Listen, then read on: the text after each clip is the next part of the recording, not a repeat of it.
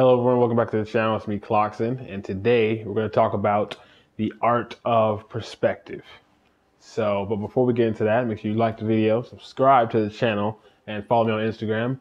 Um, I have a lot of new things coming out, and I haven't uploaded a video in a while, but trust me, there are reasons. I'm working in the background, you know, getting this stuff set up. Um, the channel's been growing, the community's growing well, so it's a lot of new things coming up, but I can't say everything because I believe in divine timing. So everything's supposed to happen when it happens. So um, yeah, y'all just gotta wait for it. but I want to let y'all know it's a lot of new things coming. You know, what I'm saying new collaborations, good stuff is coming. All right, but um, without further ado, let's get straight to the video. Okay, so the art of perspective.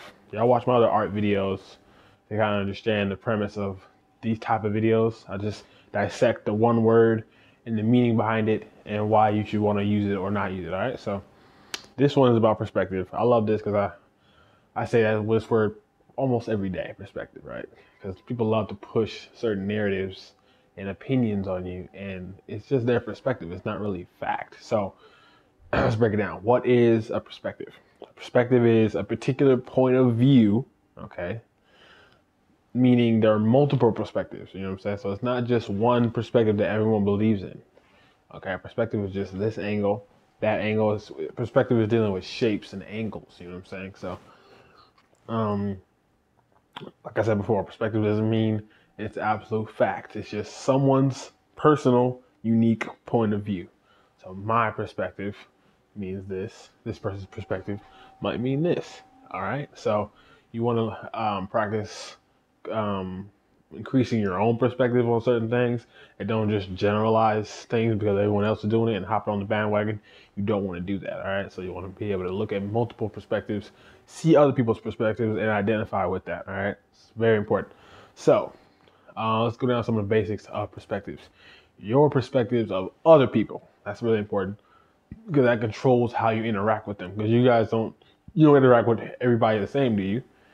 Why? It's because you're you have a different perspective of that person. So you're not gonna say certain things, you're gonna act a certain way because of your perspective of that person.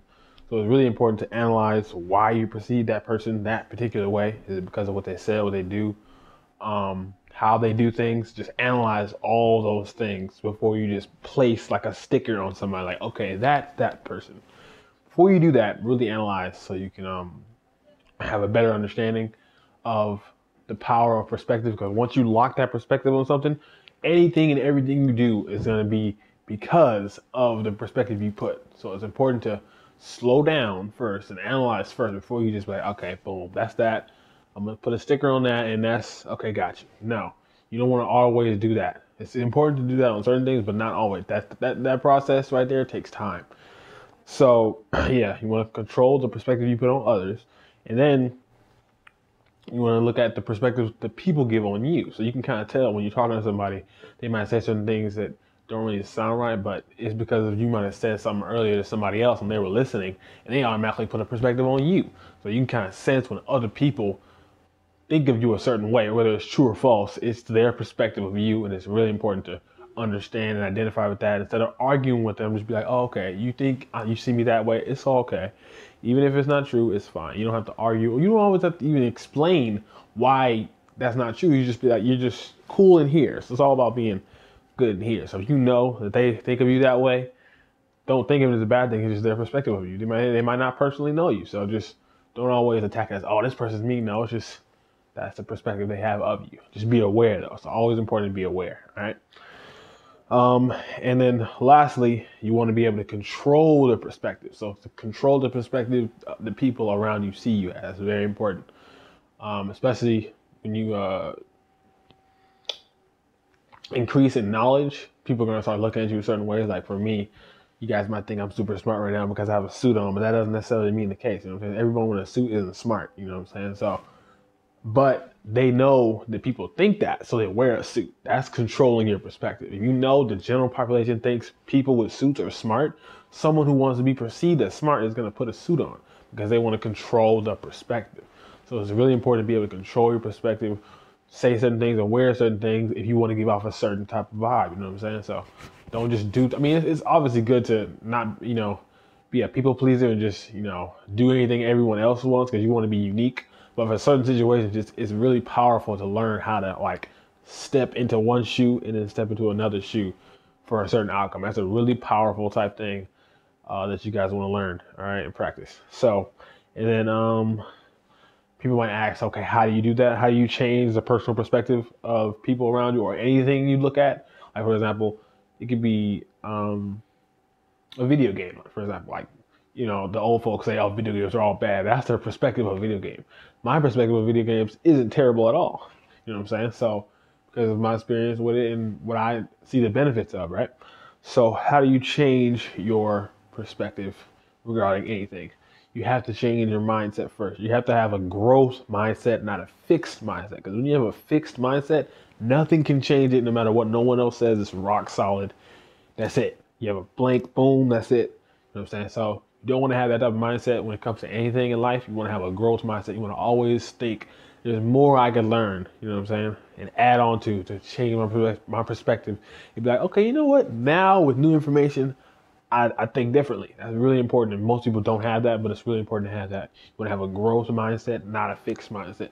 So when you have the growth mindset, you're allowed to um, when I mean allow, I mean your body, because your body's only going to do what it's capable of, and it only allows you to do certain things because of what you have. Okay, so when you have a growth mindset, you're allowed to um, exercise your perspectives into like multiple ways. Like for example, me, I look at things from like ten different angles before I make a decision. You know what I'm saying?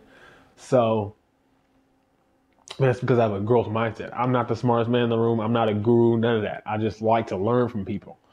So, but because of that, I can learn and then look at their perspective, look at this person's perspective, my own perspective, and then change my perspective based on what's going on. So, um, yeah, that's really important. And those, that's pretty much the art of perspective. You want to master that. And when you master that, man, you're gonna be a, you're gonna be a whole new person. People are like, "Whoa, who are you?" That's it's because you've mastered the art of perspective. So, like I said, we're gonna uh, go over the main three again the definition of perspective, okay, which is multiple angles, all right, and that the perspective is not a fact, okay, so get that straight. Perspective is not a fact, it's just someone's opinion and perspective the way people see you, their perspective, and then the way you see other people. And also, I want to add on is the way you see yourself. The perspective you have of yourself is very important because before you have a perspective of someone else, it's going to start from how you see yourself. Do you see yourself as a super intellect, scanning people, or do you see yourself as someone who's just so dumb and oh, I'm gonna let everyone else take care? You know what I'm saying? So it's, it's always how you see yourself. If you see yourself a certain way, that's going to reflect how you treat other people and everything else. So, yeah, focus on those and you should be good. Thank you guys for watching. Make sure you subscribe to the channel. I'll be making more videos like this, the art of. I love breaking down certain words and whatnot. So make sure you go follow me on Instagram, um, Twitter, and whatnot, and the, YouTube channel as well. I'll be uploading a lot more content more frequently. But yeah, thank y'all for watching. I'll catch y'all later. Peace out.